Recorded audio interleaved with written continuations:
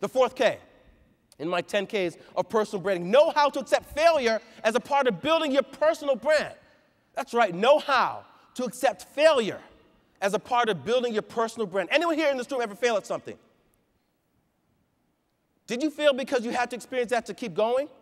Or did you fail because you had no plan? Often we fail because we have no plan. But here's a concept seek failure.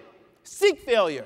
Seek failure. Let me explain. Failure is defined as not meeting pre established objectives, the act or fact of not meeting the desired end or ends. Sometimes we fail because we took a risk, because we took a risk. But in taking that risk, we allowed ourselves to extend ourselves outside our comfort zone and now create a much broader definition of what can be and what is possible. But you would have never known what you were capable of had you not taken that risk. Anyone here in this room have a transforming setback in their life or their career? Transforming setback in their life or their career? Anyone? Think about that event. And think about who you've become today as a result of it. Often we are just much the product of our failures as we are successes. And what I'd like to say is if you're not afraid to fail, you have all the confidence in the world to succeed. Anyone want to share their personal story of failure and how to find who they are today? Anyone? Anyone want to share their personal story of failure and how's to find who they are today? Anyone? Raise your hand. Yes, right there, blue shirt. Come on up, please. What's your brand name? What's your brand name? What did you have on the, on the name tag? You didn't write down? Okay. His, his brand name is I Didn't Write It Down. Give him a warm round of applause as he comes to stage. I didn't write it down. I want you to tell us your personal story of failure and how to find who you are today.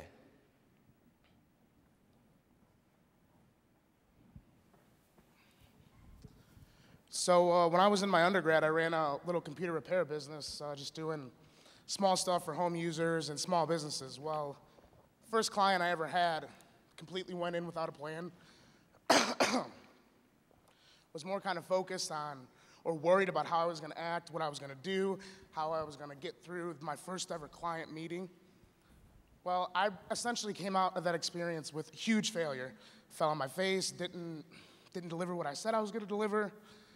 And I just kind of learned from that experience that even though you fail, you're going to gain so much more from that failure than if you actually succeeded. So from that failure, I was able to, my next kind of engagement, realize what I did wrong, kind of go in with more of a specific plan, and I guess move forward amicably. And was able to keep going with that business, make it effective, had it all through high, uh, all through my undergrad, and kind of paid for uh, a little bit of that so I didn't have to do the student loan thing. Give him a hand. Give him a hand. Great job. You want some candy? Take it back for your table. All right. My point is today, your brand will be defined not just by the things you do well, but also by the things you overcome. Because analysts, when you overcome something, you have experience. A lot of you will take risks on your teams, on your engagements, even risks that will cause you to fail. But what you learn from that and what you grow from that and what you now can deliver from that will now explode your brand so that you are now a trusted advisor to your teams, to your colleagues, to your clients. Do not be afraid to raise your hand, to take the initiative to push something forward.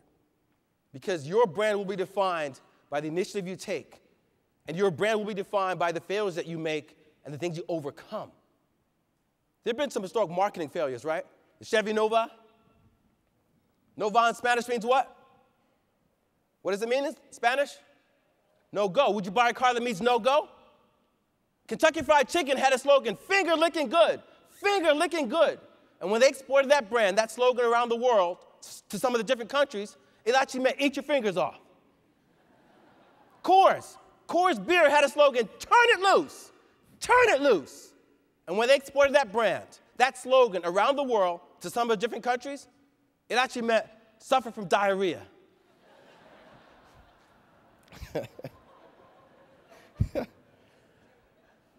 These companies all learned from their failures to build better, powerful brands for success. How are you in this room, each of you in this room, learning from your failures to build a powerful, powerful brand for success? Know how to accept failure as a part of building your personal brand.